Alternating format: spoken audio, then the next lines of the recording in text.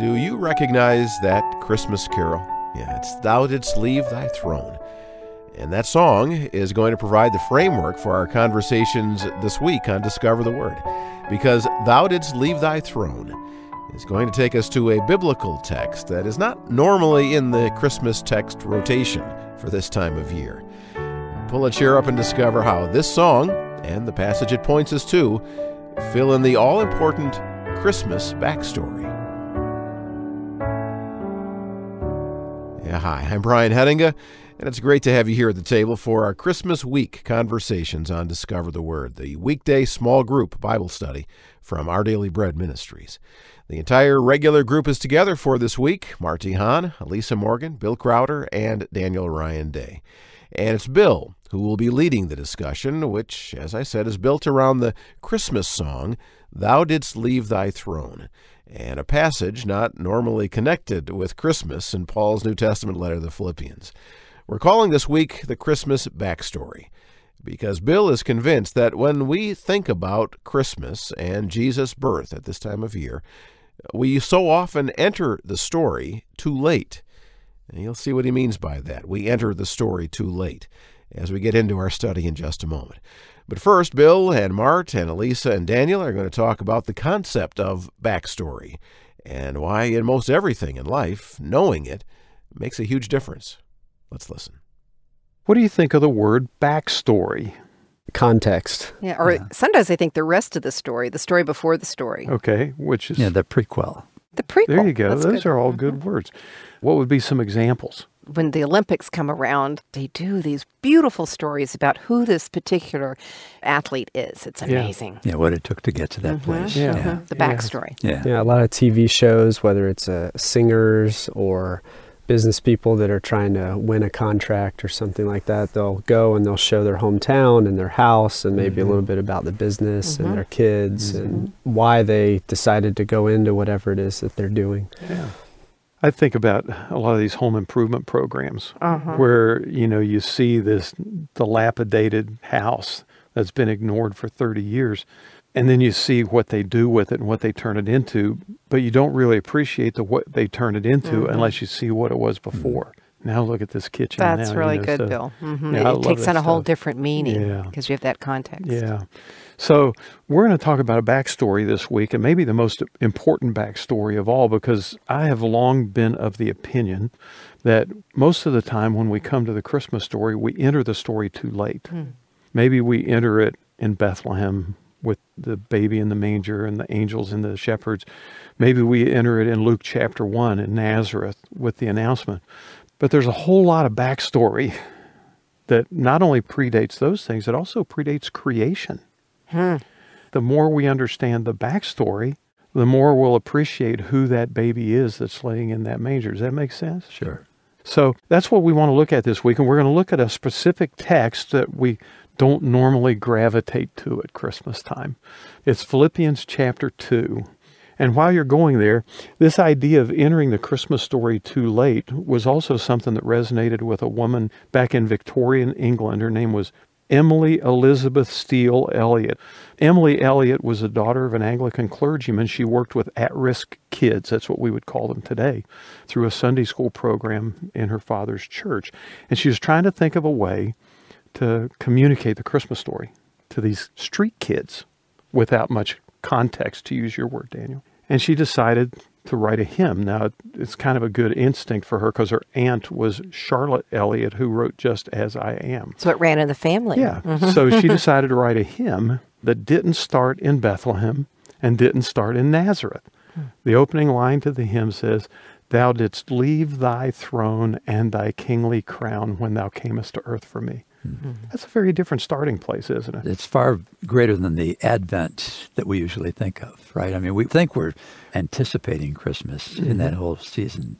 Mm-hmm. I like that you use that word, Mart, Advent, because really, if we look at it the way you're suggesting, Bill, if we back up all Yeah. the way before creation, mm-hmm. The whole world has been waiting Yeah. for this reality, mm-hmm. and it's so much more cosmic. Yeah. Yeah, I almost picture when we go on a trip, there's all that stuff that happens at the house before you leave for the airport. So it's like packing your bag and all that stuff. And it's almost like we're talking about that time where you know, God and Jesus are talking to each other and getting ready for Jesus to come to earth.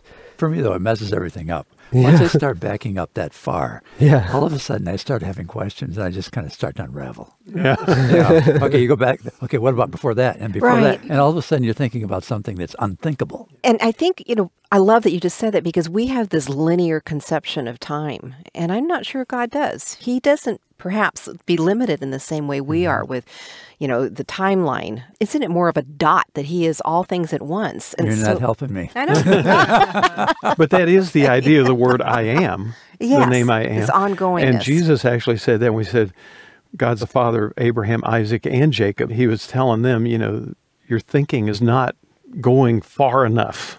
And I hear what you're saying too, Mart. I think that any time we try to look back of creation, we're trying to look back into something for which we don't have a lot of reference Right. points. Mm-hmm. But Philippians 2 does give us some scriptural reference points that we can at least begin to think about things that are mysterious and are clearly beyond us. It's stretching us. We need to be stretched beyond the, Yeah. the cradle. I think that's exactly right because otherwise we end up with a very simplistic view of the most extraordinary event we could ever try to imagine. Mm-hmm. So that's where Philippians 2 comes in because surprisingly, Paul gives us, in somewhat theological language, the Christmas backstory. Hmm. He goes back behind the manger, behind the announcement, behind the promises of the Old Testament, behind the promise of Genesis chapter 3 that the seed of the woman would crush the serpent's head,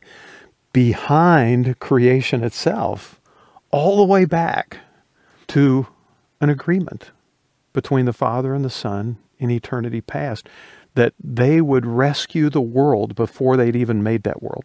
and before the world had even fallen. Yeah. Hmm. So, I mean, it's extraordinary because, in one sense, it encases God's love in a whole new set of parameters when you think of it that not only did he love the world so much that he sent his son, he loved the world so much that he decided to send his son before he'd even made the world and given it permission to choose its own way. Yeah. Hmm. It must be that because, in anticipation of our freedom to mm-hmm. choose, mm-hmm. that he knew what we would do with that. Yeah.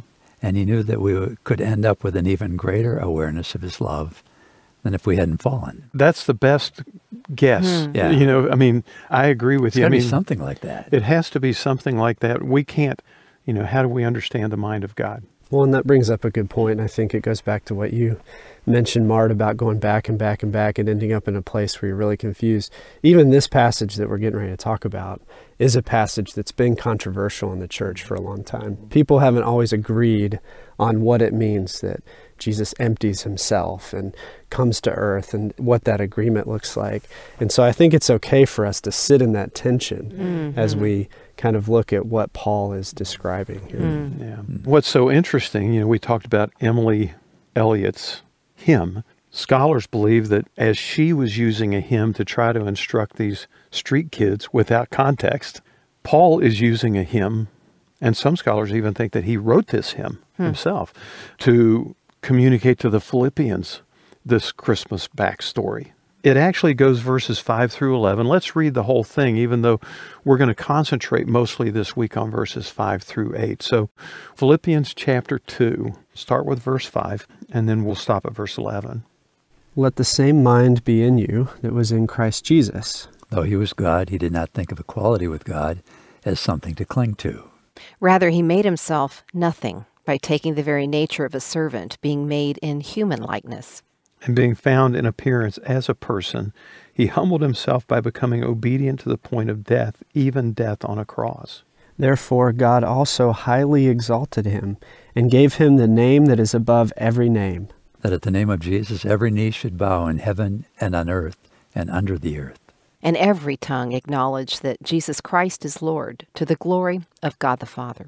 Now, there you have the whole. We should be able to sing this. Mm-hmm. Now, we're going to examine those verses 5 through 8 the remainder of this week. But before we do, we're talking about backstory. So let's get the backstory to this. And that's Philippians 2 1 through 4, Okay. in which he describes everything he longs for in that congregation. Now, how